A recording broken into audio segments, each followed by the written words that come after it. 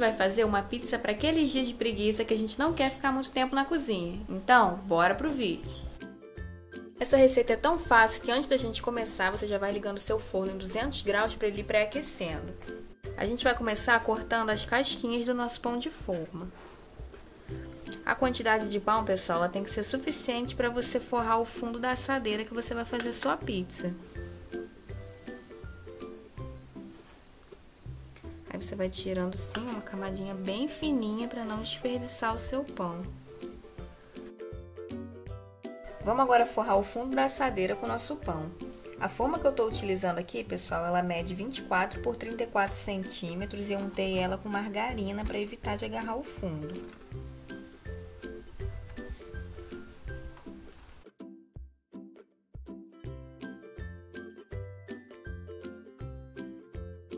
Agora aqui a gente vai dar uma umedecida nesses pães com um pouquinho de leite. Esse leite tá puro, tá? Não tem nada aqui além do leite.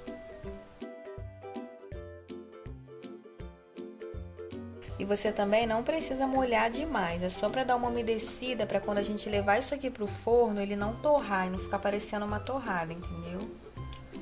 Agora que a gente vai começar a montagem como se fosse uma pizza normal. Vamos fazer uma camadinha de molho de tomate a gente vai continuar colocando queijo.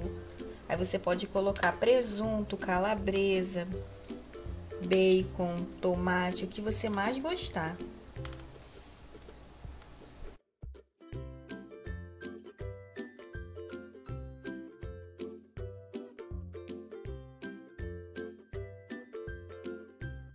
Estou usando aqui aproximadamente 300 gramas de mussarela.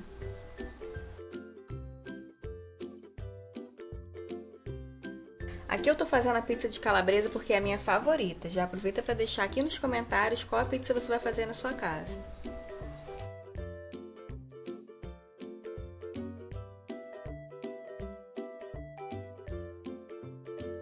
Para finalizar, vou colocar aqui um pouquinho de orégano que não pode faltar na pizza e agora é só a gente levar para assar no forno pré-aquecido a 200 graus, aproximadamente 15 minutinhos. Mas fica de olho aí no fundo para você ver se você quer ela mais douradinha ou mais branquinha.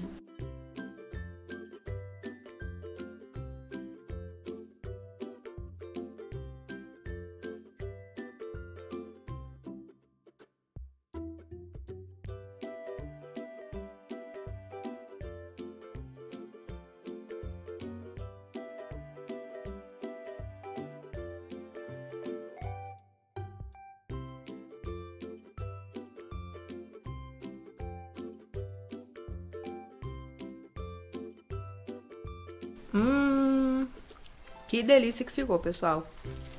Essa receitinha fica idêntica à pizza normal. Sugiro muito que você faça aí na sua casa. Se você gostou, deixa aqui pra mim o seu like, se inscreve no canal se você ainda não for inscrito, ativa o sininho e compartilha esse vídeo.